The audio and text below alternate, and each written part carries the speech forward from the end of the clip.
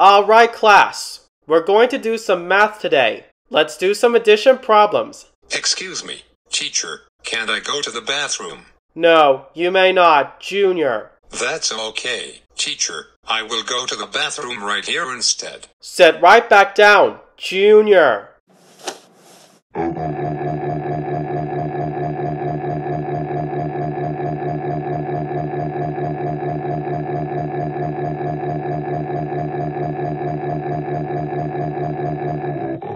Junior, you do not push your teacher. That is kinda really hurt. That's it. Go to the principal's office right now. Hello, Junior. What brings you here? I pushed my teacher. Junior, you don't ever push your teacher.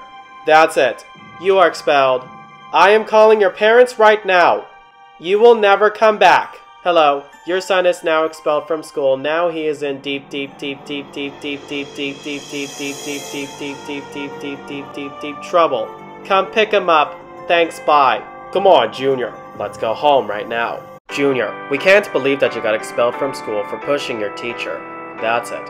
You are grounded, grounded, grounded, grounded for 1678686, 1674861, 1678938, 16748679338, 16748672867893767, 16789 years.